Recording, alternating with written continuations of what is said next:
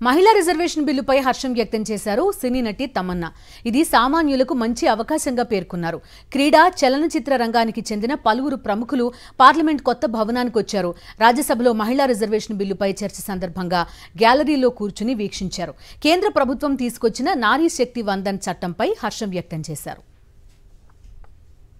हमारे honourable prime minister ने जो ये ये कदम उठाया है बहुत ही अ, अ, बहुत ही फ्यूचर के बारे में सोच सोच के, हमारे देश की औरतों के बारे में, उनकी, उनके कैसे बढ़े उसके बारे में सोच के उन्होंने किया है। और ये बदलाव डेफिनेटली सबको आगे चलते चलते बहुत मदद करने वाला है। बिल्कुल आई थिंक एक तो अवेयरनेस पैदा होती है इससे, और बहुत से लोग सोचते हैं, जैसे इंडस्ट्री के लोग जो जो हमारी फ़िल्म इंडस्ट्री में आने के पहले सोचने की बहुत मुश्किल है।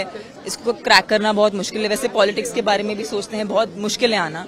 बट ये आरक्षण का जो बिल है ये आम आम लोगों को लेके आकर्षित करेगा और प्रेरणा देगा राजनीति में होने के लिए।